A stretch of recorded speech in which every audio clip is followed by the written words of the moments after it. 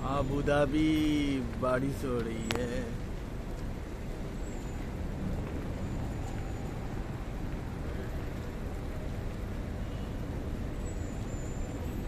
देखो कैसे बारिश हो रहा है हम लोग इधर।